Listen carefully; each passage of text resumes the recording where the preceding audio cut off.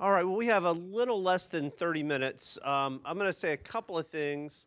Um, then uh, Tony is going to introduce a couple of our master teachers or uh, that are here uh, to make a few comments uh, around uh, their thoughts uh, around change management in particular, and then just warning to the panel. We'll then come to the panel, and if each of you could give a few summary comments as well. Though we do need to be sensitive to the time, so you know they always say writing a or actually giving a short speech is harder than a longer one. So um, make sure you're working on that. Uh, yeah, I, I, thought this was fascinating. The, the, it's exciting to see the number of possibilities uh, that exist um, and the amount of work going on in so many different areas is just phenomenal. I guess putting my CEO hat on, and Bob and I are sitting at the same table here, and we were both whispering back and forth about this.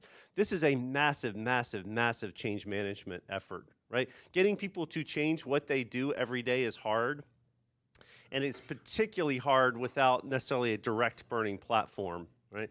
Um, this has some parallels to, I'll say, the re-engineering efforts that happened in a lot of large companies uh, in the the 1990s. And one of the parallels, I guess Glenn kicked it off, I thought was fascinating, was saying that a lot of this isn't about automating what we do today. It's changing fundamentally what we need to do to be able to better teach in the context of the technology um, uh, uh, technologies that are available. And that was very, very similar to what happened with a lot of large companies in the 1990s, re-engineering fundamentally what they did um, within the context of what technology would allow them to do. And anyone who was at a large company in that period of time knows it was bloody and it was painful, right? There are massive consulting firms that got built just because of uh, these uh, efforts um, it is very, very difficult to change people's behaviors, and even more difficult, again, without a, a burning platform. So uh, I'm hoping we can also, and I hope that uh, our master teachers will, will spend a couple minutes addressing what they see as well